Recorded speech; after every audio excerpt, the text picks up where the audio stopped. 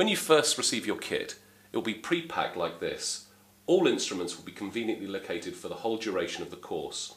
Disposable medical instruments can pack the kits in any way that you want. Scissors have a number of functions and are shaped differently depending on the task being performed. They can be divided into round-tipped or sharp-tipped and have either a straight or a curved blade. Scissors should be held with the ring finger and thumb with the index finger to stabilise. Scissors are an invaluable dissecting tool and can be used to cut tissue with the sharp sides of the blade. Alternatively, they can be used to bluntly dissect through the tissue planes by inserting the closed blades between the two planes and gently opening the blades to ease the tissues apart.